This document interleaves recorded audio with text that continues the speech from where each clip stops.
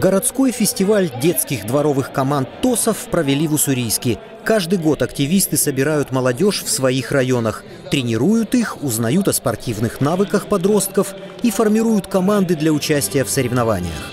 В этом году уссурийская детская спартакиада ТОСов собрала 11 молодежных дружин. С многими мы встречались э, во дворах, на спортивных праздниках, которые организовывали в течение многих лет.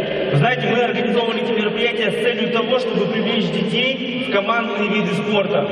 Для того, чтобы сплотить и объединить их. Чтобы они, так же, как и я в своем детстве, играли в футбол, волейбол, для детей приготовили несложные спортивные состязания, но для кого-то некоторые виды были в новинку. Так Святослав Максимов на ходу разработал стратегию игры в дартс. Школьник не прогадал и сумел принести очки своей команде. Я первый раз э, дротики кидаю в жизни, но, но я понимал, как-то надо целиться рукой и потом, и потом стрелять точно. Но и, ну, и была, ну, одна попала не выше, случайно.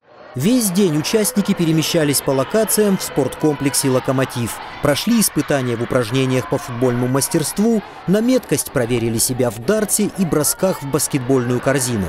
Пробежали веселые эстафеты, а самое главное – познакомились и подружились между собой. Нас собрали, типа, у каждого друзья, и мы так собрались, и все подружились, стали командой. Самыми сплоченными и спортивными стали дети из команды «Звезда». Они представляют ТОС Юго-Центральный. Немного уступили им юные жители мелькомбината, которые объединились под названием «Успех».